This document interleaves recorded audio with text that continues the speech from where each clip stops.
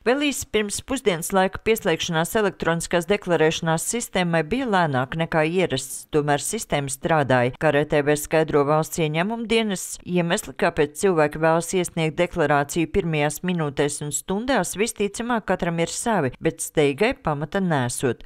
Vairumam, kas tad ir sniedz brīvprātīgi sniedzamo deklarāciju, lai atgūtu pārmaksātos izdevumus, attaisnotos izdevumus nodokli, tiem tā tad ir trīs gadi, un patiesībā pat vairāk, ir trīs gadi, gandrīz ar pusīti, kuru var sniegt. Nu, un tad tiem, kam ir jāsniedz deklarācija obligāti, tas ir līdz 1. jūnijam jāizdara.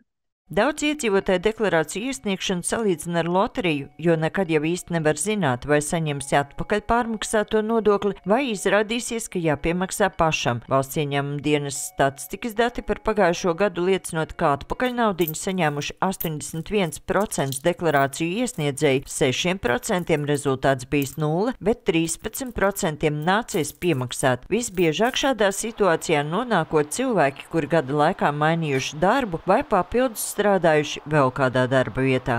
Latvijā mazākiem ienākumiem ir paredzēti atvieglojumi.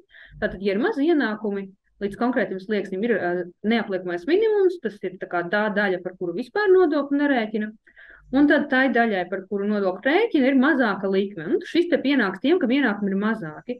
Nu, un tajā brīdī, ja tie ienākumi kopēji, ja kopēji par visu gadu pieaug, un tas tie sliekšņi ir pārsniegti un vairs nepienāks mazo ienākumu atvieglojumi, Tad pēc deklarācijas sanāk, nu, kā ir jāatmaksā atpakaļ. Ja vidēji mēnesī ir vairāk par 1667, tajā brīdī mainās likme no mazās uz lielo, Un, ja vidēji mēnesī ir vairāk par 1800, tajā brīdī tā kā vairs nepienāks neapliekamais minimums.